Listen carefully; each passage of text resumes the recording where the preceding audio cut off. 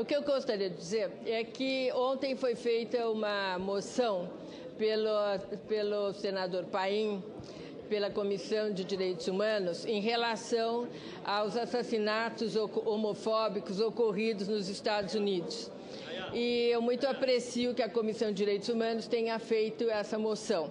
Mas eu gostaria de perguntar, senador Renan, se é possível o Senado Federal, como Senado Federal, fazer um, uma, uma, não sei se chama moção, qual seria o termo regulamentar, em nome do Senado Federal, uma posição sobre o que ocorreu nos Estados Unidos. Eu acredito isso muito importante, porque o país não está tendo posições muito firmes em relação aos crimes homofóbicos. E isso a gente tem reiterado muitas vezes. Tanto é que a própria comissão eh, que a, a, do, do, eh, da reforma penal, ela passou na comissão retirando tudo que foi relativo a direitos eh, de combate à homofobia. Tem, tem emendas minhas, do senador Randolph, de vários senadores. E está parado na CCJ há mais de ano agora.